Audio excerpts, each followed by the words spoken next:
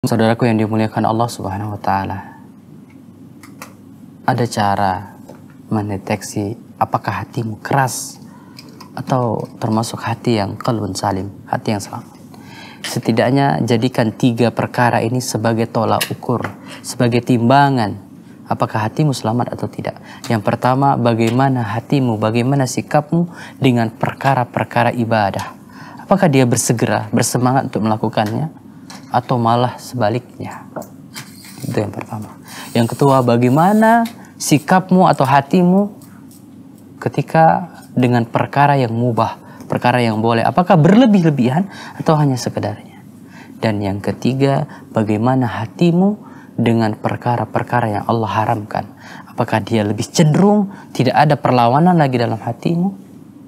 maka engkau bisa deteksi dari tiga perkara ini. Kau akan tahu di mana posisimu dan bagaimana kau harus lakukan dengan hatimu. Mudah-mudahan bermanfaat.